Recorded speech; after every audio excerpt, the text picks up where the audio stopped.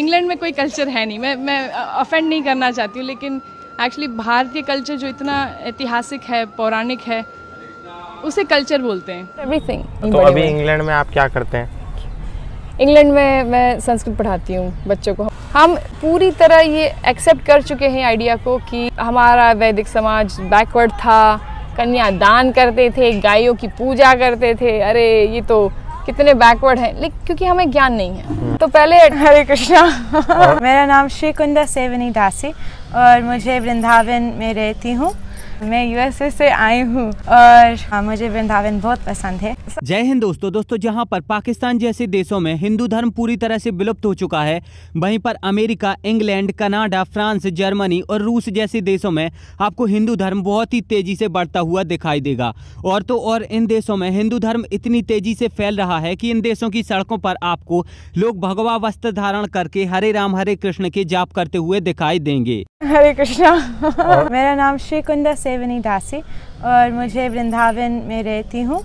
मैं यूएसए से आई हूँ और हाँ, मुझे वृंदावन बहुत पसंद है। सबको मिले वृंदावन धाम। मेरा हिंदी बहुत अच्छा नहीं लेकिन मुझे धीरे धीरे सीखेंगी। Some Hindi bhajan would you like to say विनती सुनो झमोरे शरण में आई चरण में तुम्हारे चरण में राखो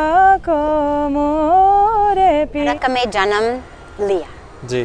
लेकिन दिल जो है दिल तो भारतीय है। बचपन स्पेंड किया अमेरिका में। मेरे पास सब कुछ था। बढ़िया घर था काफ़ी पैसा सबसे बढ़िया एजुकेशन सारी चीज़। मेरे पास सब कुछ था। जी। मैंने स्टैनफोर्ड यूनिवर्सिटी में अपने ग्रेजुएशन किया। और फिर ग्रेजुएशन के बाद में पीएचडी शुरू किया था साइकोलॉजी में मैं एक साइंटिस्ट थी।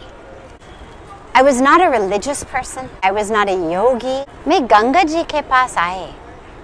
गंगा जी का दर्शन किया। और my life changed. उसी समय एक मिनट के अंदर और माँ गंगा ने और भारत माता ने मेरे दिल को सचमुच खींच लिया। जी। पहले लगा कि मैं भारत में हूँ। अब लगा कि भारत मुझमें है। अच्छा। यहाँ से कभी जाना नहीं चाहूँगी। यह सब वास्तव में पूरी तरह से सत्य है कि हिंदू धर्म पूरी दुनिया में बहुत ही तेज़ी से फैल रहा है। आज दुनिया भर में लाखों ऐसे लोग हैं जिन्होंने क्रिश्चियनिटी को छोड़कर हिंदू धर्म को स्वीकार कर लिया है।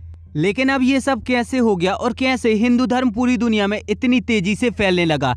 तो अब अगर इस चीज़ को हम बिल्कुल कम शब्दों में और बिल्कुल सरल भाषा में समझें तो बंगाल में जन्मे स्वामी प्रभु प्रदा अपने गुरुजी का सपना पूरा करने के लिए और अपने हिंदू धर्म को पूरी दुनिया में फैलाने के लिए अमेरिका के शहर न्यूयॉर्क गए थे। जहाँ पर जाने के बाद उन्होंने अपने धर्म का प्रचार करने के लिए कुछ ऐसे लोगों को टारगेट किया, जिन्हें अपने देश से, अपने परिवार से, यहाँ तक कि अपने बीवी बच्चों से कोई मतलब नहीं था और वो दिन रात गांजे और चरस में पूरी तरह से धुत्त होते थे।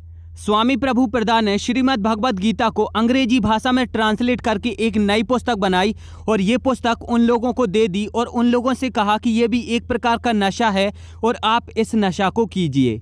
और जब लोगों ने श्रीमद् भगवत गीता पढ़ना शुरू किया तो धीरे धीरे उनको उनके जीवन में कई बड़े बड़े परिवर्तन देखने लगे। और फिर ये बात एक व्यक्ति से दूसरे व्यक्ति तक पहुँची, दूसरे से तीसरे तक और तीसरे व्यक्ति से लाखों लोगों तक ये बात फैल स्वामी प्रभु प्रदा का ये सपना था कि पूरी दुनिया में हिंदू धर्म सबसे बड़ा होना चाहिए।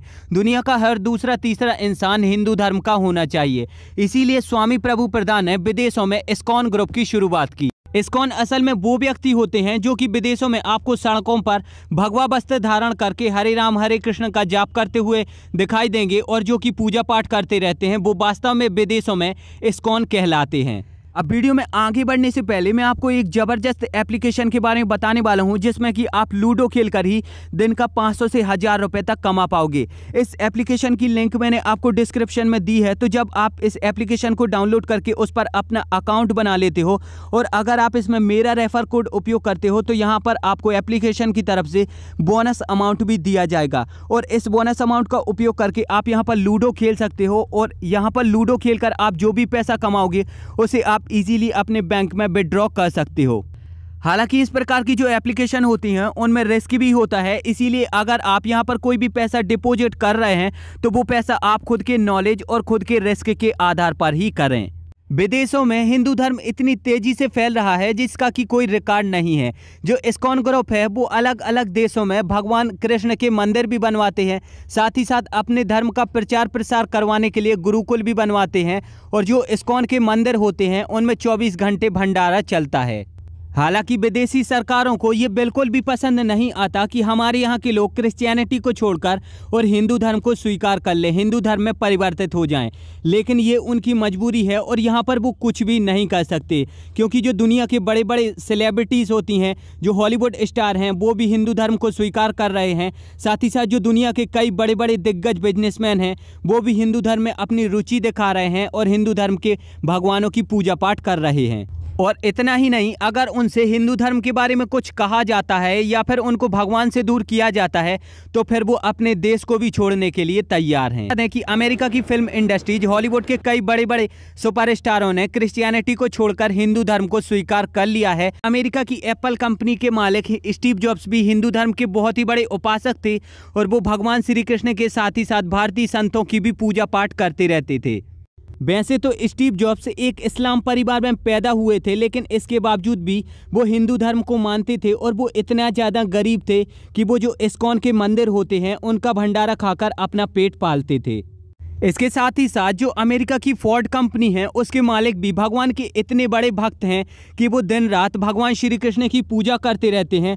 और तो और उन्होंने हिंदू धर्म को प्रमोट करने के लिए और दुनिया भर में मंदिर बनवाने के लिए 800 करोड़ रुपए से ज़्यादा पैसे खर्च कर दिए हैं। अब हिंदू धर्म पूरी दुनिया में बहुत ही तेज़ी से फैल रहा है और दुनिया की बड़ी बड़ी शक्ति भी इसके सामने चकनाचूर हो चुकी हैं, वो भी इसे नहीं रोक पा रही।